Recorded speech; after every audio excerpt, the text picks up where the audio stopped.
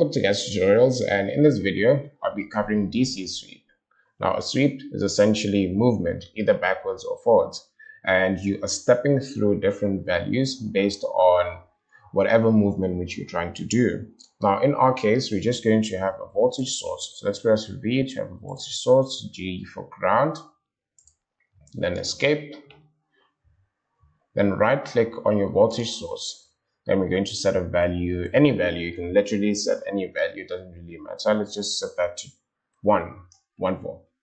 Okay, then now you're going to come here to simulate, edit simulation. So far, we've been working with the transient analysis or the transient simulation, but now we're going to go to DC sweep. So this is where we are. And as you can see, it has, it says first source, second source, and third source. So you can sweep three different sources in LTspice and what that essentially means, as I previously explained, is you are stepping through a bunch of values and these boxes here then set the type of sweep which you're going to have. It is a DC sweep, but you can still set whether it's linear, octave, decade, or a list. Now, I'll just be roughly going through all of these and just to show you what I mean by that. So now let's put in the name of our source. It's currently V1.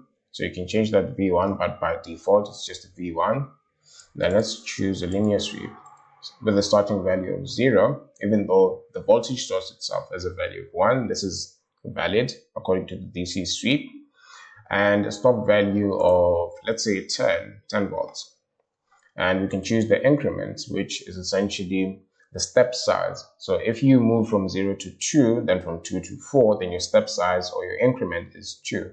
If you move from 0 to 1, then from 1 to 2, when you're counting up or down, then your increment is 1. So you can literally set any value which makes sense or which is less than your maximum value. So now, if I set my value to, let's say, 2, and just place that in there, run the simulation, probe the top of our voltage source, you'd see that we have a line which is linear, right? We set a linear scale or we set a linear DC sweep and this is essentially what we expected because we set an increment of 1 and at the bottom you can see it's counting in ones up to 10. So the start value was 0, the end value was 10 and it's essentially increasing its value until it reaches 10. Well, it doesn't really serve any purpose if it's by itself.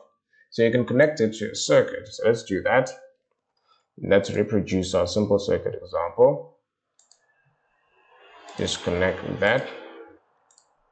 So now why is the DC sweep useful? Or how can we actually use it? So I'm just going to switch a few things up. So let's press F8 to drag this downwards. Then that one as well. I'm going to press F7 just so it looks a bit nice to take that out of there. Then F3 to reconnect there that, that's much better Okay, now let's assign values 1k and 1k. Then we're going to rerun the simulation.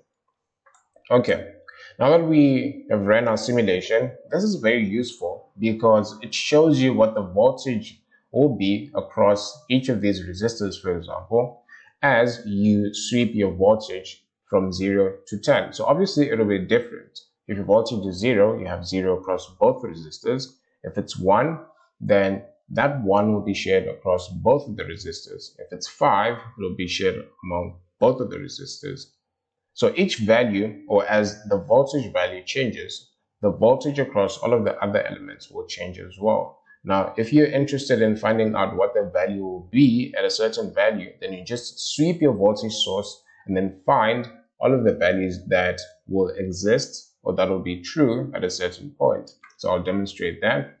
Once again, our source goes from 0 to 10, so that's the green line. And if we probe this R1 resistor to see how the voltage across it changes as we change the voltage source, we can just drag from there to there, and you can see a similar profile. And this should make sense using Ohm's law if we think about it. So when the voltage source is at 3, so the green line, so when it has a value of 3, we can use our cursor because we know how to use cursors now. So when it's there, we now expect, we'll press the blue one, we now expect our resistor to have a value of 1.5 and that is what we have over there right? And this is because this is a voltage divider. Whatever voltage is here will be divided equally among these two. So if the voltage is 3 the green line then expect the voltage across each of the resistors to be 1.5 which is the blue line and that is exactly what is happening and we can probe a different point if we want, so you can actually step up to 6, expect each of the resistors to have 3 volts, and we press the blue one, you see it that it's around about 3 volts over there.